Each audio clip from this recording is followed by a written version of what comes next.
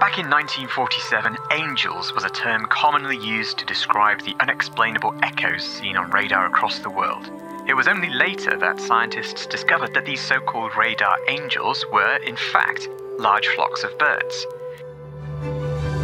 In the following decades, radar was recognized as a potential tool for different sciences, including ecological research.